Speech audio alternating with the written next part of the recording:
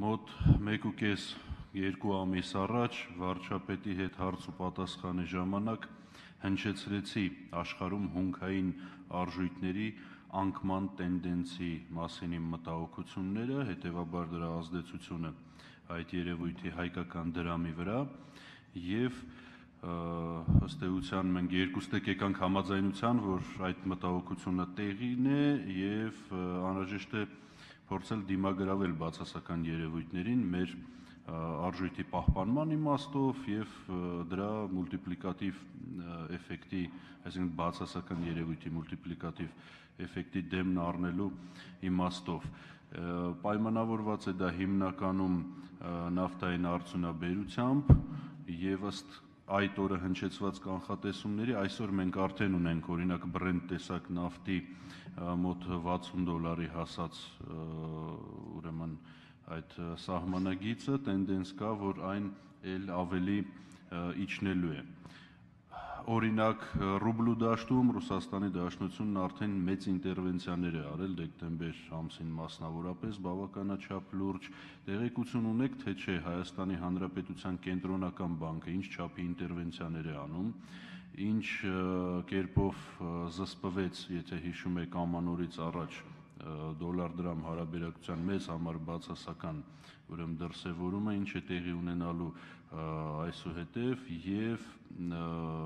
ձեզ հիշեցնեմ, որ էլի ամանորից առաջ OPEC-ը կրճատեց նավթի արդյունաբերությունը, այսինքն արտահանումը մոտավորապես 750 հազար բարել օրական կտրվածքով, ընդ որում 460-470, եթե չեմ սխալվում, միայն Սաուդյան Արաբիայի կտրվածքով, ինչը ըստ էության, այսպես ասած, արևմուտք, արևելք այդ նավթային արդյունաբերական մրցակցության մեջ զսպողական ինչ որ իմաստով դերակատար կայունացնող դերակատարում ունի։ Մի խոսքով, եթե այս վիճակը շարունակվի, դրամը որպես կախյալ հունքային արժույթներից կախյալ ուրեմն արժույթ վտանգի տակ է լինելու Ինչ եք տեսնում այս համատեքստում որպես անելիք ապագայում այդ թվում օրենսդրական կարգավորումներով ձեր հանձնաժողովի միջոցներով։ Շնորհակալ եմ։ Շնորհակալ եմ պարոն Ուրիխանյան։ Նախ հավաստիացնում եմ ձեզ, որ առաջին հերթին մենք կբերենք կենտրոնական բանկի պատասխանատուներին բարձրամանումներ տալու, թե ինչ գործիքակազմ են օգտագործել ձեր նշած հարցերի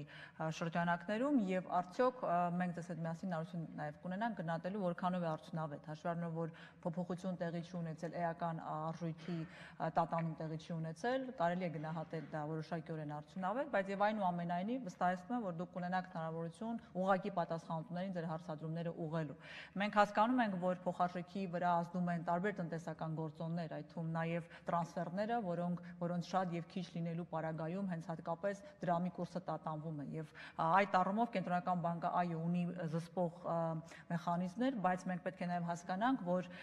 դրամը դա նույնպես ապրանք է եւ նրա արժույթը դոլար դրամ փոխհարաբերակցությունը կապ ունի պահանջակ պահանջարկ առաջարկի հետ եւ հետեւաբար այդ առումով այո կենտրոնական բանկը ունի մեխանիզմներ, որոնք օգտագործում է, բայց մենք պետք է նաև հասկանանք, որ շուկայական հարաբերություններում եւ նաև թողնելով կուրսի ճիշտ պատկերը, մենք պետք է ընդունենք, որ դա է իրականում հողի գինը։ Եվ այդ առումով ձեզ վստահեցնում եմ, որ դուք հնարավորություն կունենաք հատկապես որ գործիքակազմով են ազդեցություն ունեցել եւ այդ հարցադրումները ուղղել ուղակի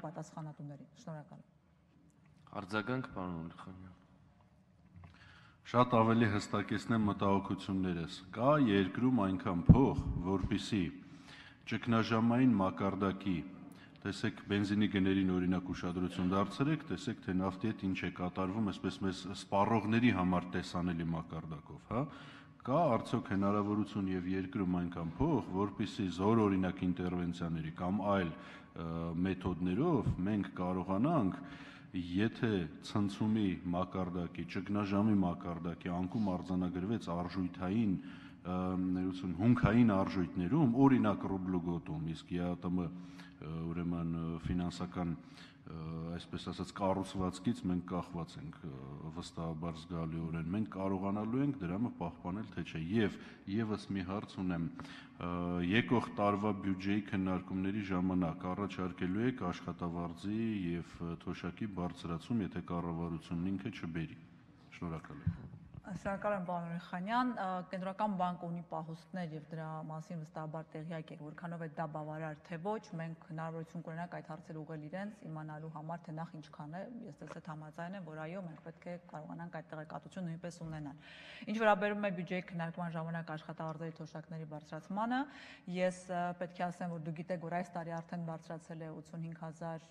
քաղաքացու թոշակ նպաստ ծերության եւ ծերության նպաստ եւ կերակրող կորցնելու եւ աշխատավարձերի բարձրացման առումով պետք է ասեմ, որ ուղակի մեխանիզմ աշխատավարձեր բարձրացնելու պետությունը կառավարություն ունի, բացի պետական աշխատողների աշխատավարձ բարձրացնելուց եւ դրա արդյունքում է ընդհանուր միջին աշխատավարձը բարձրացնում եւ դուք երբ ելույթում կմեկնաբանեք իրականում այո ցածր են աշխատավարձերը դրա հնարավորությունը կա թե չէ մենք պետք է դիտարկենք թե օպտիմալացման առումով եւ այո ունենանք մշտական որոշում բարձրացնելու աշխատավարձերը parberabar եւ ամեն տարի շնորհակալ եմ